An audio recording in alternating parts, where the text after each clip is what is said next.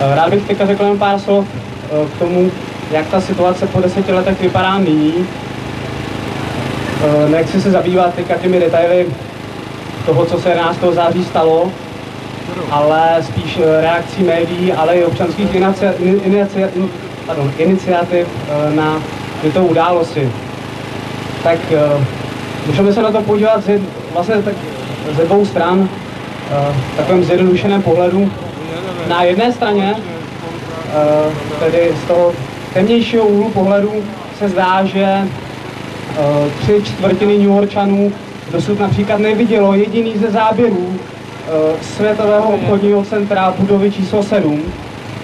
A když se zeptáte na ulici kohokoliv tady, pravděpodobně vám na otázku, kolik spadlo věží v New Yorku 11. září, odpoví číslo 2, což je velmi smutný fakt, samozřejmě. Bohužel to tak je. Ale na druhou stranu bych chtěl říct, že eh, jeden z nejčastějších argumentů proti eh, takzvaným konspiračním teoriím o 11. září eh, byl ten, že tak mohutná akce, velmi složitá, by přece nemohla zůstat utajena ani v případě, že by byla organizována CIA a podporována tedy nejmodernější uh, technikou, kterou má lidstvo v současnosti k dispozici. Chtěl bych říct, že tento argument už neplatí. Tento argument už neplatí. Ta, tyto události skutečně nezůstaly utajeny. A to bych chtěl upozornit. To jsou veřejně přístupné. Skutečně. Skutečně se to nepodařilo utajit, protože to není možné. Jediná síla, kterou čerpají, je z médií. A zde bych chtěl právě upozornit na to, že i zde se zřejmě něco láme. Můžu zmínit spoustu demonstrací, které se odehrávají na celém světě v tenhle moment. V tenhle moment, kdy já tu mluvím, uh,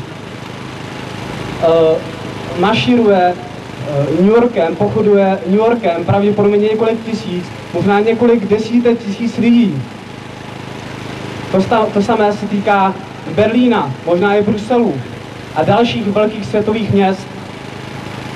Například v samotném New Yorku vzniklo hnutí New York City Coalition for Accountability Now, hnutí New Yorkských občanů za okamžitou zodpovědnost, které požaduje znovu otevření vyšetřování, respektive požaduje veřejné New Yorkské referendum o znovu, znovu otevření vyšetřování.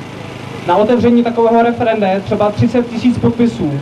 Toto hnutí zís- získalo jenom v New Yorku v roce 2009 80 tisíc těchto podpisů. Referendum ovšem přesto nebylo otevřeno, a to z důvodu tzv. procedurálních pochybení. Nyní se činnost této organizace zaměřená na vzdělávání veřejných představitelů města, rady města a tak dál, protože se skutečně ukázalo, že dokonce ani veřejní představitelé tohoto města, města New York, nevidí o tom, nevidí o tom, že 11. září spadly tři budovy, spadla i budova číslo 7. Což zní teda opravdu hrozivě, ale bohužel je to tak. Ale abych tady mluvil i trochu pozitivně, tak to, co jsem chtěl říct především, je, že tyto záležitosti skutečně nepodlehly uh, utajení a jsou zcela veřejné. Uh, ve čtvrtek, pokud se nepletu, vyšel například v deníku aktuálně CZ článek, který bez jakéhokoliv dehonestujícího podtextu informuje o událostech 11. září. Proběhl, probíhají například rozhovory i na českém rozhlase na toto téma. Slovenská televize STV o tom minulý rok informovala velmi otevřeně, jak už to bylo řečeno.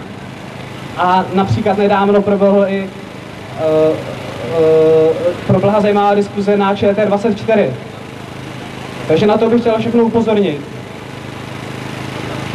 A říct tedy závěrem, že tedy po těch deseti letech se zdá, že uh, se skutečně blíží pád jedné z největších konspiračních teorií v dějinách lidstva. Tedy té konspirační teorie, že 11. září bylo 19 teroristy, byly 19 teroristy uneseny čtyři letadla, které narazily do Světového obchodního centra a Pentagonu a zapříčnili pád tedy třech věží v New Yorku. tato velká konspirační teorie se skutečně blíží ke svému konci. Díky vám. Děkuji.